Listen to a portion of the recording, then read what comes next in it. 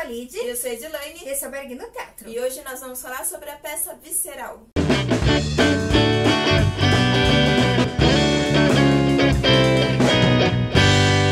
Gente, antes de começar esse vídeo, já se inscreve no canal e compartilha o vídeo. O texto da peça foi escrito por Nana de Castro, que ela é uma premiadíssima escritora e roteirista do nosso meio artístico aí. E você tá vendo a gente com as pulseirinhas? Sim! Essas pulseirinhas a gente recebe lá na peça e elas são importantes para que a gente consiga interagir de forma mais eficiente com a peça. Porque a peça, ela tem uma área antes de começar a peça propriamente dita, uma área imersiva, onde a gente pode interagir com algumas obras de arte. E essa pulseirinha, ela é como se fosse um, uma chavinha. Você vai até o quadro, segura assim próximo de um sensor que tem e ele dispara uma gravação que é referente ao que foi concebido daquele quadro ou o que foi falado de texto a respeito daquele quadro. Enfim, é uma contextualização, seja sonora, é, eu digo assim, musical até, com ruídos, ou seja mesmo com um texto construído a respeito daquele quadro. E situando vocês, a peça é feita em três níveis. Então, o primeiro nível é uma exposição, que é muito importante que você veja, porque tudo que é dito ali complementa na peça. Isso é logo no térreo, mas a gente vai se aprofundando na peça. Então, no primeiro subsolo, vamos falando assim, tem essa exposição com as, as obras de arte, com os quadros desenhados artisticamente ali. E depois a gente segue um pouco mais para dentro ali do lugar que a gente vai parar num porão. E é nesse porão que a peça propriamente dita se desenrola. Quando a gente chega na exposição, lá no primeiro subsolo, a gente é recebido por uma senhorinha simpaticíssima, feito pela Yara Janra, que a gente conhece de muitas outras obras, porque ela é uma artista muito conhecida, principalmente a gente assim, dessa idade mais jovem, que assistia a Porque não tinha nenhuma sujeira de outra cor. Eu lavo a mãos todo dia. E ela tá nos oferecendo coxinhas. Então você fica à vontade, pode pegar, é coxinha de verdade, pode comer, fica tranquilo. Ali não é de enfeite, não é cenográfico e ela fica oferecendo o tempo todo coxinhas, coxinhas. Muito fofinho. E vocês prestem atenção, porque essa coxinha vai conversar com uma revelação que vai ser dada ali na peça, lá no finalzinho. Se você for um pouquinho mais espertinho, no começo já pega. Dessa peça é a cenografia e o figurino. Então você acompanha dois tipos de exposições, a factual e a artística, o áudio que complementa os quadros, entre outras coisas. E os figurinos são muito bem feitos. E alguns personagens com argila com, representando obras de arte. Então tudo isso ficou belíssimo. Apesar de ter sido realmente muito bonita e muito bem feita, teve uma parte que deixou a desejar, que foi a parte das projeções. Então as projeções elas ficaram ótimas para as pessoas que estavam à frente do palco, vamos dizer assim, que não tem palco propriamente dito, e quem estava no lado direito. Agora, quem estava do lado esquerdo, que foi justamente o nosso lado, não dava para ver nada do que estava acontecendo na projeção. Mesmo que aconteceu da gente virar e tentar enxergar, mano, é uma projeção. Então você tá muito perto ali do que está sendo projetado. Você tem alguma ideia do que possa ser. Mas até a gente pegar também, né? Eu perdi a Sim, primeira projeção, não sei você. Não entendi nada, Mas aí a segunda a gente percebe já que, ah, então é um mar, não sei o quê. Mas fica muito vago. Ainda sobre a concepção cênica, a gente, logo no início da peça, da peça propriamente dito, depois das exposições, a gente é dividido em dois grupos, o grupo azul e o grupo vermelho. O grupo azul vai para um lado, que não foi o nosso. Aliás, a gente tem que começar a dividir. É verdade. É, tipo, você vai um lado, eu vou pro outro, depois a gente conversa. É, depois é. a gente descobre quem é quem. Aí a gente conta a peça como um todo pra vocês. Aí quem vai pra peça azul não sabe o que aconteceu no vermelho, quem vai pro vermelho não sabe o que aconteceu no azul. Até aí, tudo bem. Lembra da peça Cidade do Sol que a gente falou pra vocês?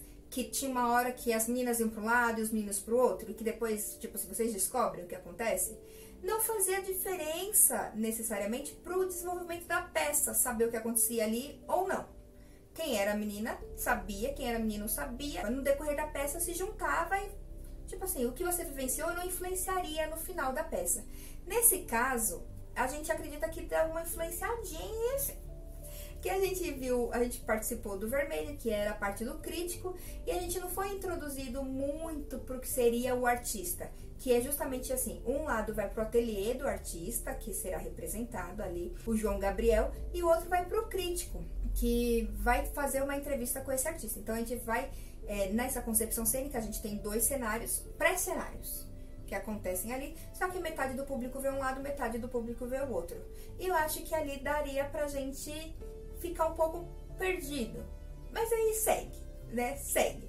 E a gente tem também, além dessa concepção cênica que também é interativa, também tem elementos interativos, tem um dado momento da peça em que se divide um pessoal fica na parte de cima, é, como se fosse num mezanino ali, e um pessoal na parte de baixo. Esse jogo teatral de mesclas de plano, que a gente já falou pra vocês algumas vezes, sempre é muito legal, porque sai daquele comum, daquele, daquela mesmice que a gente tá habituado. Ou quando a gente vai no palco italiano, a gente só vê aquilo ali, ou quando a gente tá na arena, a gente só vê em volta. Nesse não, a gente tinha esse plano e tinha aquele. E também tem uma determinada hora que também tem o plano baixo. Então fica o plano baixo, médio, alto e altíssimo.